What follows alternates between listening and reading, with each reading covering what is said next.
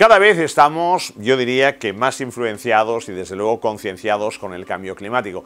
Esto implica que a partir de ahora, en teoría desde hace algunos años, estamos ya invirtiendo pensando en lo que serían las consecuencias que tenga desde el punto de vista medioambiental cualquier inversión. Por tanto, ahí lo que se está dando ahora es lo que serían las finanzas verdes. Finanzas verdes en un sentido de economía verde, dicho de otra manera, en un sentido de que las empresas inviertan, pero que inviertan en lo que sería medioambientalmente positivo y que no sea pernicioso. Primer punto. Segundo punto, normalmente eso implica que el inversor va a en lo que son distintas alternativas de inversión, pero ahí cada vez más se va a ir apostando por lo que serían las empresas que en definitiva suman en pro de mejorar la naturaleza. Y otro capítulo muy interesante, el Banco de Inglaterra, por ejemplo, pone en marcha a partir del año 2020 un test de estrés que va a ser el test de estrés precisamente de lo que serían las finanzas verdes. Es decir, va a haber a la banca dependiente del Banco de Inglaterra